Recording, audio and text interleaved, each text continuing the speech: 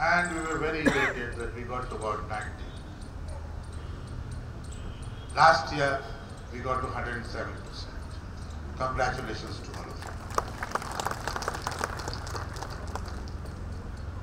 Our company still remains a very strong entity in the business environment. The tax-free bond offer of 1,000 crore that we received was oversubscribed 3.7 Finally, the total bond worth 2,250 crores were issued to our company. 2,675 megawatts were declared commercial. I would urge all of you, I will urge my senior colleagues who are here to see that like we are adding 4,000 capacity or more every year, we should look at commercializing more than 4,000 capacity every year.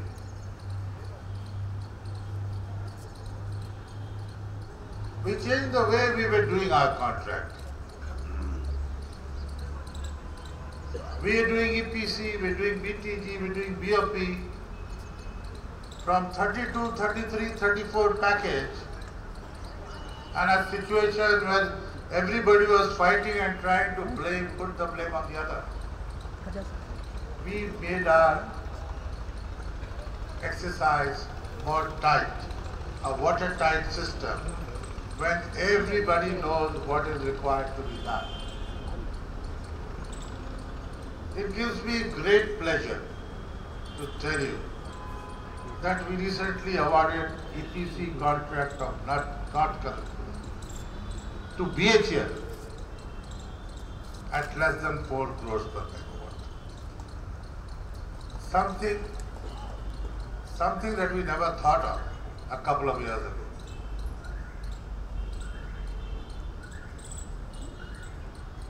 Our company is also being recognized both nationally and internationally. We remain proud that consistently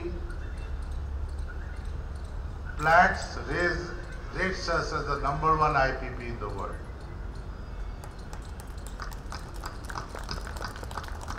The All India Management Association this time decided to give us the best PSU award for the first time.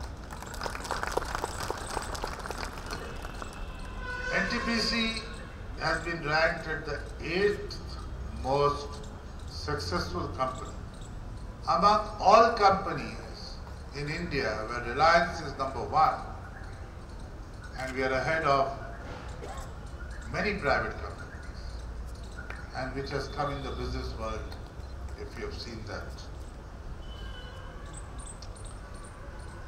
I am personally pleased to share with you that due to your efforts and the efforts of all my colleagues who have worked with me in my professional life,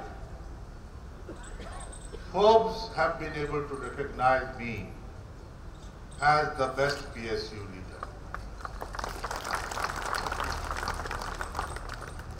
With the advent of the new paradigm shift, we now have a new minister who I have no hesitation to tell you is 24-7 on the job. He's a finance wizard and he works as a super CEO of NTPC. He is given a new direction to the power sector. And with coal and renewable energy also coming under his ambit, NTPC would be the proud beneficiary of all the progressive decisions that the government of, government of India is going to take. I must here tell you that some of you have heard about the Supreme Court judgment on coal block, the allocation, the ordinance, I do not know how many of you have read the ordinance in detail. Please read the ordinance in detail. You will find that there is a specific para which out and out supports NTPC. I would like to hear, give compliment to my minister, to my ministry, to all the team members along with me who have done this policy propagation during the ordinance stage.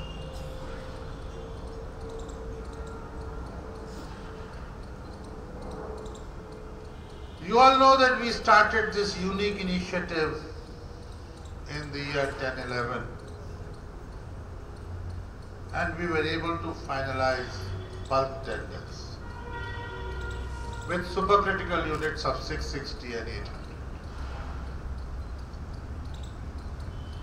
In the bulk tender, we had this requirement that if you supply to us, do so from wherever you want, meet our specs and be ready to manufacture in our country after one year. Japanese companies like MHI, Toshiba, Hitachi, Korean companies like Doosan, European companies like Alstom, Ansaldo, Babcock and Wilcox, they have all come to India with an Indian partner. They have all established companies, manufacturing units in Gujarat, Tamil Nadu, Maharashtra and other states. Effectively, there has been a paradigm shift in the way power equipments were manufactured in the country.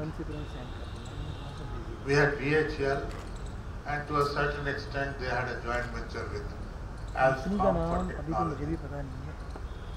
Against that, we have now 25,000 megawatts of additional power capacity in the country. It's a small, it's a big event for NTPC that we have succeeded in this. And it's a very small contribution to the Honorable Prime Minister's dream of Make It you all know that NTPC has been a pioneer in introducing new technologies. Those of you who are here from Netra, I'm sure you're looking at more new and innovative technologies. Supercritical is already there.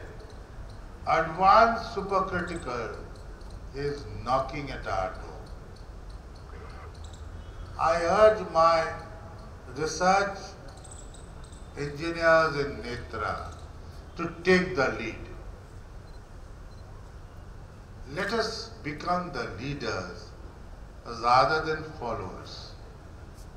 Let us not say that it is BHEL's job, they will do something, we will then use it. Let's be leaders, let's see what needs to be done. Let's think out of the box, throw ideas, discuss ideas, and then we may still decide that yes, we have discussed everything, but it is not really possible. That's fine. This is also actually, if we can do, will contribute in a way to government's initiative in getting the best technology in our country. Our design engineers have been able to introduce in the country supercritical units with parameters of 593 degrees centigrade temperature and 247 kg per centimeter square pressure so as to increase the conversion efficiency by 5% over the conventional subcritical system. In the near future, we are testing the ultra supercritical units with parameters in the range of 610 degrees centigrade and 270 kg per centimeter squares.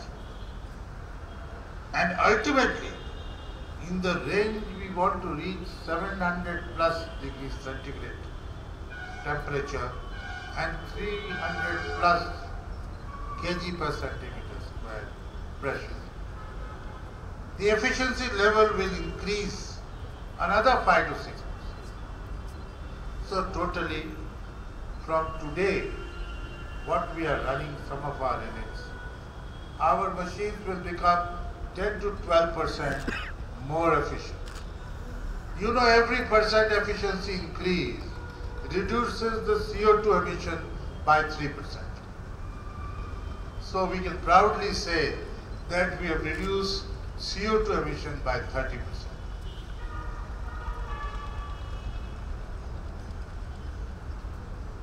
We are only not only stopping at that. We did 660, we did 800. Next on our target is 1000 megawatt unit at Andhra Pradesh. This 4 into 1000, 4000 capacity at one single place will be as big as any UMPP that the government is planning. This will be based on imported coal. I am sure my design engineers will give me the most efficient boiler here so that we are the best in the world and people come to see our plant.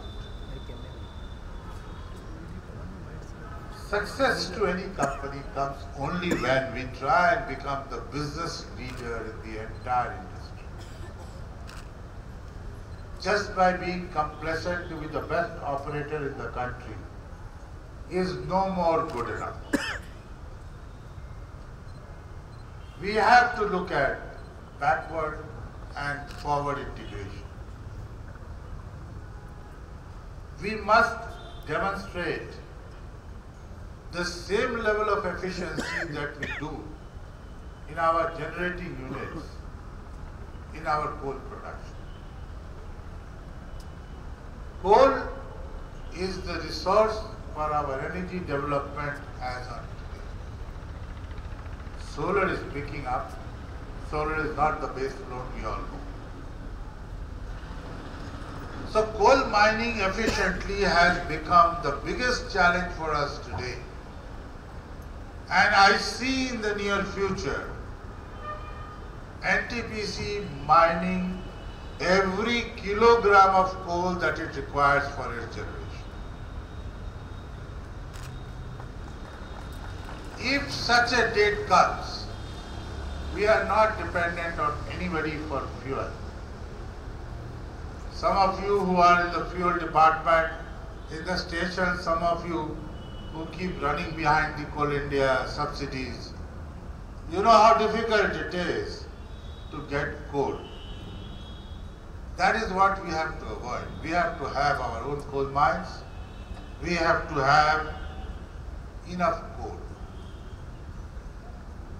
The other end of the spectrum is the distribution. If you make a product and if you can't sell the product, then there is no point in making it. Let us not be complacent under the TPS scheme that we will give it, we'll get payment, we'll keep running after that. We have to have a very strong distribution organization within the. There are many senior people who tell me that, you know, they've reached a certain stage, the company is no more the same what they have seen. The rank that they have come to had certain different connotations 25 years ago and it looks different today.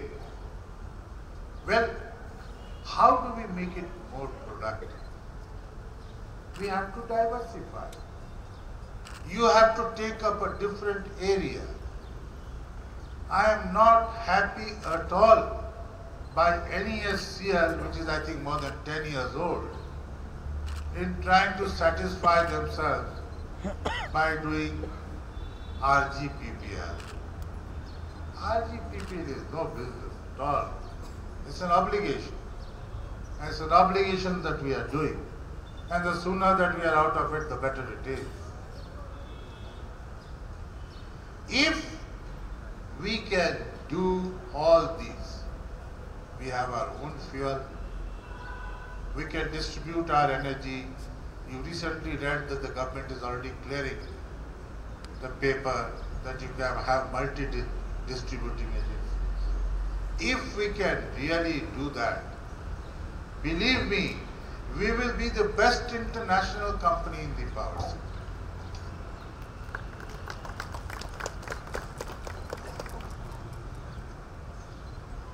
I can tell you on my part that I have been throwing these ideas in the government and they are very, very receptive. And in fact, the government keeps on asking that please give me a white paper as to what is it that you want. Unfortunately, all the white papers that we've asked up to now is only to strengthen our crutches. समझते हैं crutches Baisakhi we are used to walking in Baisakis. And we all want to go and ask for this and that to improve our crutches. Let's discard our crutches. Let's throw them aside. Let's walk freely in this world.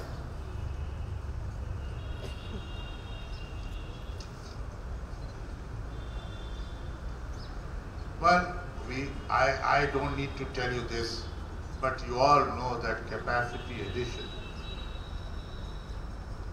is the crux of our survival. If you don't add capacity, you don't add generation. If you don't add capacity, you don't spend your capex. Ultimately, it reflects on the returns of the company, the profitability of the company.